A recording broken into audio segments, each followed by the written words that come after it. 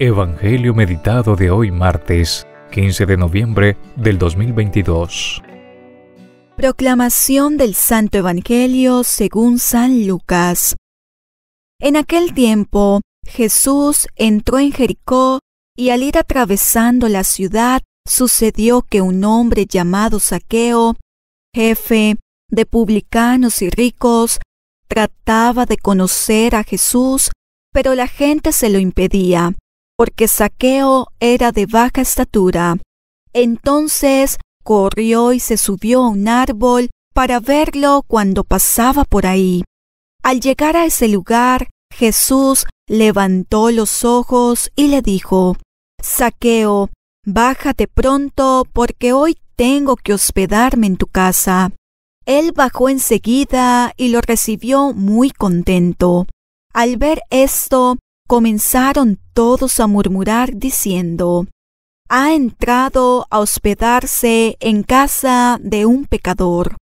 Saqueo, poniéndose de pie, dijo a Jesús, Mira, Señor, voy a dar a los pobres la mitad de mis bienes, y si he defraudado a alguien, le restituiré cuatro veces más.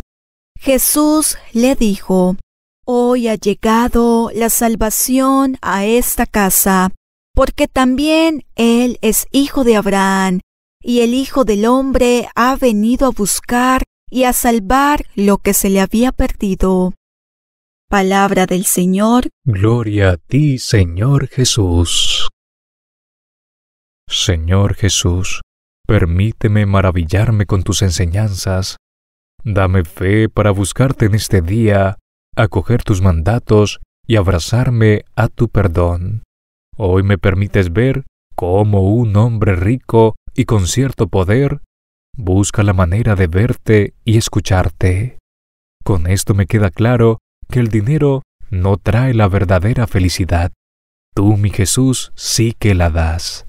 Por esto Saqueo, sin importar lo que dijeran los demás, se trepó a un árbol con tal de verte. Es posible que muchas personas le suceda lo mismo. Muchas veces al escuchar hablar de tus obras maravillosas, sientan el deseo de buscarte. Sin embargo, no todos logran conocerte, porque al primer obstáculo que se les presenta, desisten y se alejan.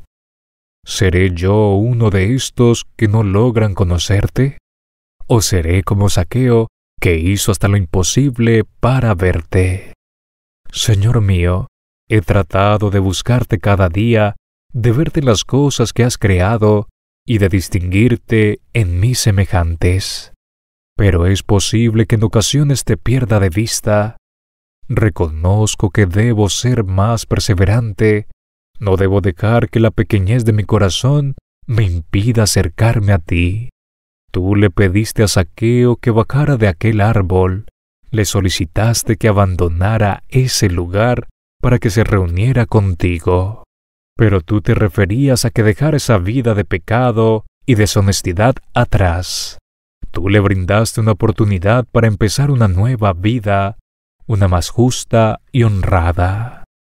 Sé que asimismo me dices hoy, deja todo apego, todo rencor, toda angustia y ven a mi lado. Tú te autoinvitas a mi casa, tú quieres entrar en mi corazón y compartir conmigo.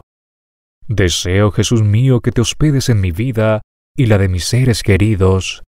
Quiero dar de lo que tengo a los pobres.